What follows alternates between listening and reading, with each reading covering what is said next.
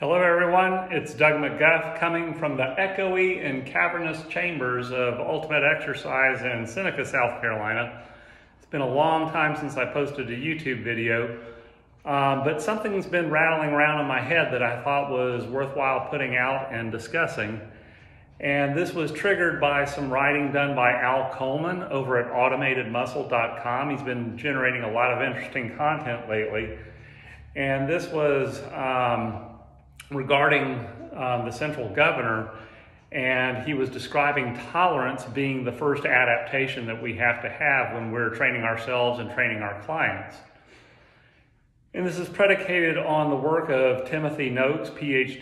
He is a researcher out of Cape Town, South Africa, that originally came up with the idea of the central governor um, as the cause for fatigue in humans when they're exercising. Now, it was originally thought that muscular fatigue uh, or fatigue during physical exertion was occurring because of an accumulation of waste products, mainly lactic acid, that was changing the pH within the working muscle and causing its function to break down.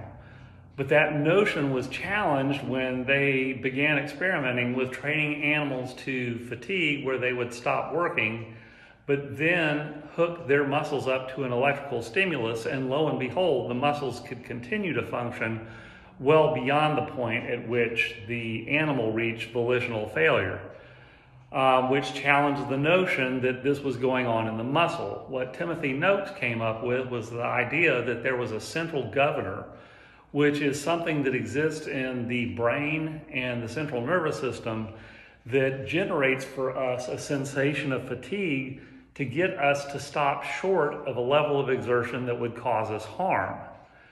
Now, Noakes felt that, that the harm that the central nervous system was trying to protect us from was actually just overexertion that would cause damage to the body, that we were protecting ourselves from overexerting, from overheating, from causing damage to our brain or damage to our muscles themselves. Somehow we were trying to keep a margin of safety for that.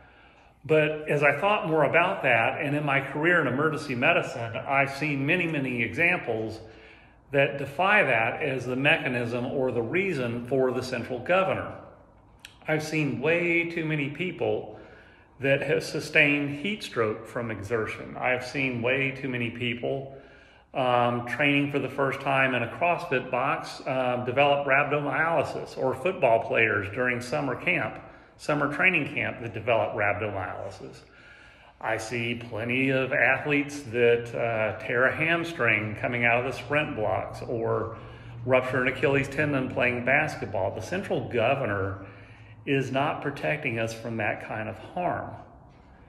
And what Timothy Noakes um, describes, uh, our way of dealing with the central governor is we develop what's called a pacing strategy. And how we improve over time is adjusting our pacing strategy to be more efficient. One of the major things he offered up as evidence against the fatigue model that was originally proposed with lactic acid was how runners at the end of a race can have a last minute kick. At the point where they should have accumulated the most fatigue, they're able to generate the highest output. Um, and he attributes this to a pacing strategy that allows you to save your performance towards the end. And that what allows the central governor to back off is the knowledge that there's an end point, that there is a point at which there is a finish line and the exertion is going to stop. Now, let me back this up to my observation that I've seen too many people um, develop rhabdomyolysis, have a heart attack while exercising, develop heat stroke, um, to feel that the central governor is protecting us from overexertion. Instead, what I believe the central governor is protecting us from, literally, is inroad, from fatiguing the muscle to a degree to which we can no longer move under a given load or under a given circumstance because what I've always believed and why I believe that the training stimulus is inroad is that movement is our most preserved biologic function. Without movement, we can't get food and we can't keep from becoming food. So it's my belief that the central governor is actually protecting us from inroad. Whether you're running, lifting weights, doing calisthenics, the fatigue that develops is trying to protect us from inroading to a degree to which we no longer have movement. The problem is that the training protocol that we are using and the resistance that we're using and the time under load to a point of volitional fatigue that we're using is deliberately designed to um, foil any sort of pacing strategy. We're trying to accumulate fatigue as quickly as possible and to go as deeply as possible in the shortest amount of time. And that basically undermines any sort of pacing strategy and it undermines the notion of there being a finish line whereupon the central governor can back off us and let us perform a higher, higher level of exertion. Now, recently we have taken on some clients that have a really um, finely tuned or highly performing central governor. That is, their central governor expresses a very high degree of caution. And what Al Coleman wrote was the first thing that we have to develop is to develop tolerance, um, a tolerance for exertional discomfort, and an ability to ratchet down the central governor so it's not so aggressive. And in clients that have a really aggressive expression of the central governor, what we have tried is setting them a finish line of setting a set duration of 90 seconds and then running them and allowing them to stop at 90 seconds regardless of whether they have reached failure or not, and then building resistance over time until the window between 90 seconds and true failure is closing tighter and tighter and tighter. As long as a client that has a high expression of the central governor knows that there's a finish line, then they can kind of unclench from that central governor and go a little bit harder.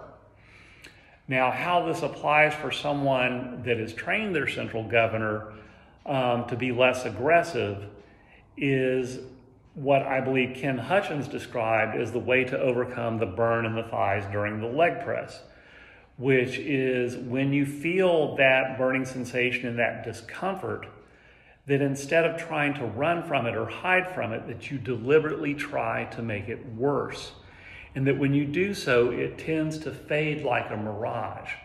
So, for someone with a lower expression of the central governor, or someone that's learned how to develop tolerance of discomfort, then those are the people that can go with no clear finish line in sight and actually take that discomfort and try to make it worse. But I think we are in the unique um, realm where we can actually identify that what the central governor is protecting us from is a level of inroad that causes us to be unable to move because that's the preserved biologic function. It's not protecting us from overexertion. It's not protecting us from muscle damage or muscle tears. It's not protecting us from hyperthermia or rhabdomyolysis. It's protecting us from inroad. And we have devised a protocol where we are trying to invoke the very thing that the central governor was built for. And we're doing it with a protocol that tries to subjugate and to mitigate against any sort of pacing strategy.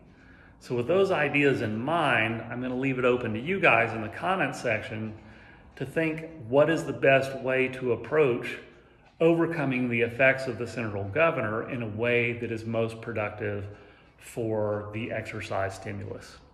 But just something to think about. But for right now, get off the internet and go do some dope shit in the real world. Until next time, Doug McGuff.